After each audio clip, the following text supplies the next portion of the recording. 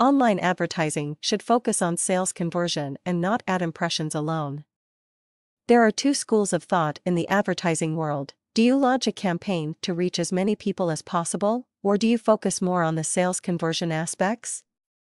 One camp would say that the law of numbers is on your side no matter what. If you can cheaply reach millions, if not billions, of people and a minuscule percentage of them respond in the affirmative, then you still have a potentially viable product. However, this is flawed logic because there is no real way to know for sure how many people heard your specific message at that moment in time. That's why, as online advertising continues to improve, more companies are focusing on the second camp's way of thought sales conversion. With sales conversion, you know exactly how effective you are, because you have touched base physically with the customer. You know a name and a face, and perhaps even a voice or a personality. The customer is giving you access, whether he wants to or not, into his world. He's showing you how to successfully move your product.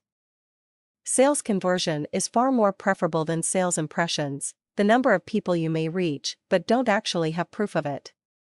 Ultimately, each impression is costing you a small amount of money, and with no return on that investment, you are in danger of deficit. The way that most online businesses are able to reach a high number of willing buyers is to advertise on sites that relate to the product or service they are selling.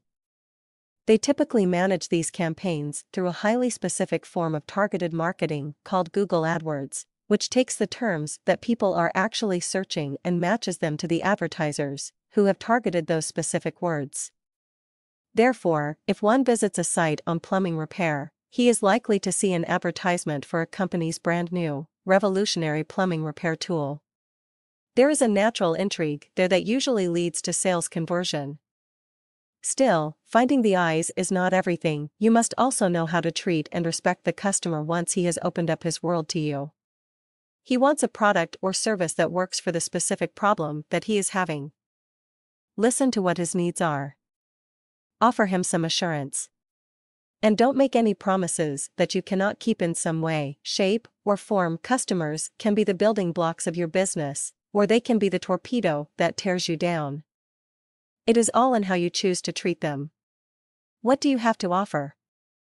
Will it meet their needs? And what will you do to keep them satisfied? In the answers lie your success,